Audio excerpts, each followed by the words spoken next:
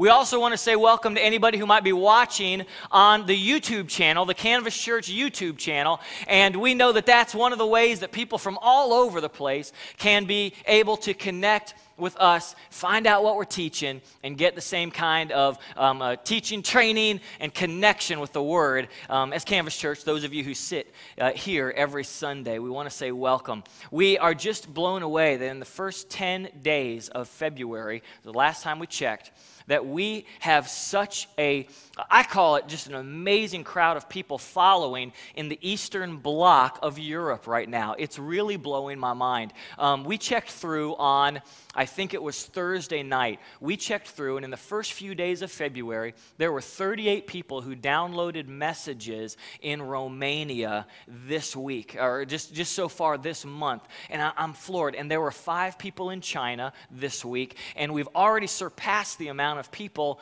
internationally um, from last month who did the same thing. And we just are, are, floored by it because there's zero way of promotion. I don't know what's getting them here other than God, but um, it's happening more and more and more. And I guess people are telling people about stuff. And we just go through these stats and look at them, and it's. Um, it's blowing our minds. And I'm going to have to learn something in Romanian, I guess, just to say welcome to all of them. Maybe that's a place to start. But um, we want to welcome all of you. Nevertheless, it's a great thing. And I, I just want to say about what we begin today that this is so important.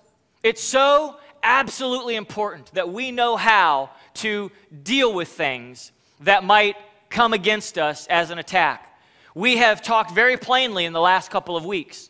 Um, I encourage you to go back and listen to these messages from the last couple of weeks. We've talked very plainly that we need to be very balanced people and understand what things are physical and understand what things are spiritual. Because just like not all things are physical, not all things are spiritual to deal with. And God wants us to be able to be wise and aware on all fronts of our lives.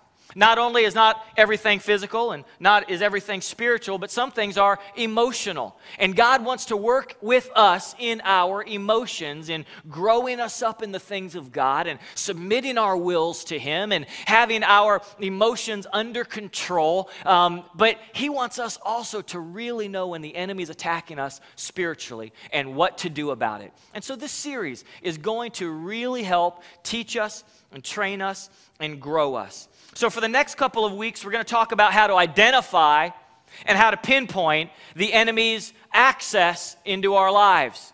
I think that's a really important place for us to go. We're going to find out what the Bible has to say about the way the enemy does attack us from the outside. And we're going to look at what he does to intrude into areas in our life from the outside. But we're also going to look at things that are our responsibility in living godly lives so that we don't give the enemy any place in our lives. Everyone say, our responsibility. It's important. It really is. We have a responsibility in how we live our lives and what we do and what we, um, what we need to shut and what we need to make sure is no longer open in access or the enemy's access in our life. It's, infor- it's important, like we did for the last couple weeks, to talk about the weapons that God has given us.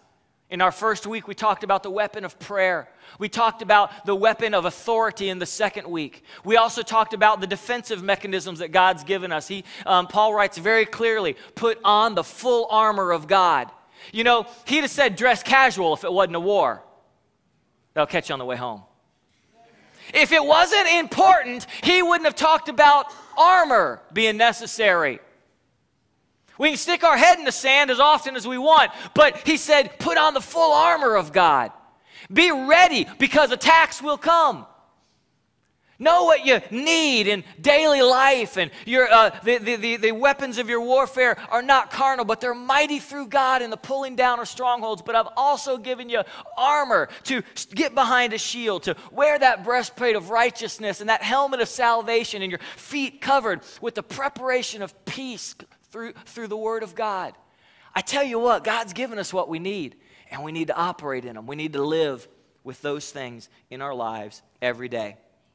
So today we're going to talk some, a little bit about poor security in our lives. Poor security.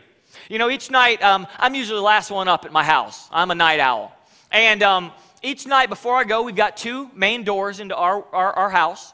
One is on the back porch, one is our front door. And one of the things that I've just gotten in the habit of doing each night before I actually go to bed is I go through and I lock the doors. I know that sounds like a simple thing. But you know what I know the mechanism that goes off inside of the, um, the father of a home, the, the protector of a home?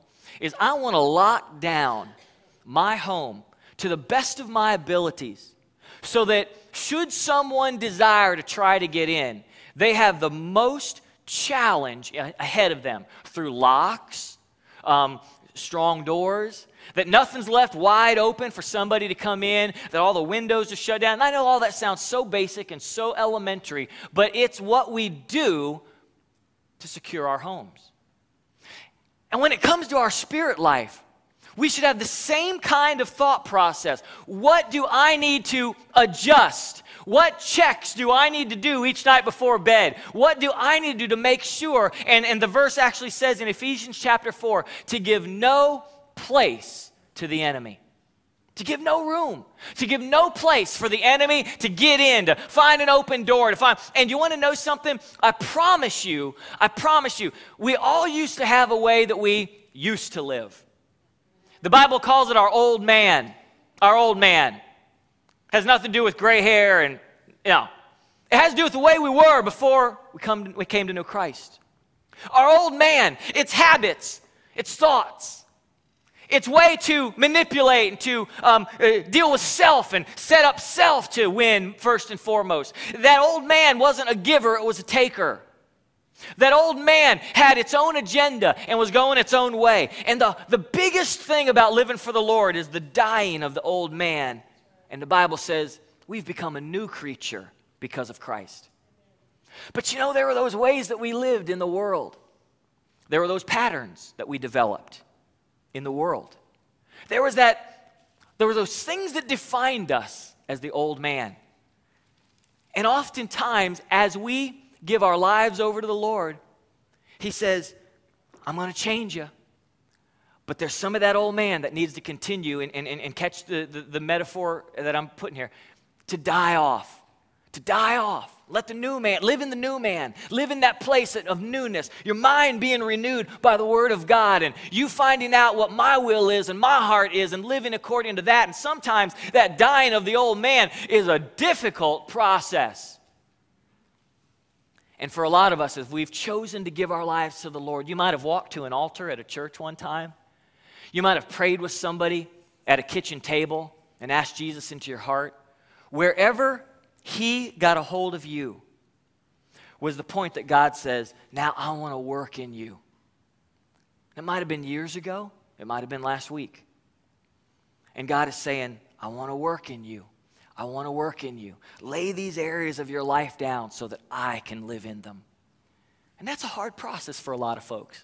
They watch themselves um, uh, living in life and dealing with uh, uh, uh people at your, at your work and dealing with family and finding that you saw yourself uh, raise up that old man. It just shoots out of your chest like the Aliens movie. You know, it just, it's just, and people just go, Where'd that come from? I thought you were a church guy now. And you see that there are these things that you need to, that maybe they're not locked up doors yet.